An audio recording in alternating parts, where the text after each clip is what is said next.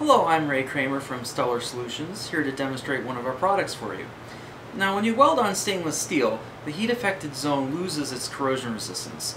After you remove the discoloration, either using one of our Weld Wizard products or some other method, or maybe you're just going to leave it there, you need to passivate to remove the iron that's on the surface and restore that corrosion resistance.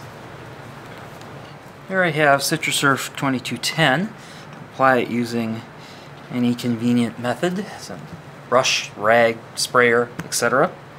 Leave it sit on there for 20 to 30 minutes and then rinse it off or wipe it off with a paper towel or a rag and get another wet one and come back wipe it off again just to make sure that you got it off.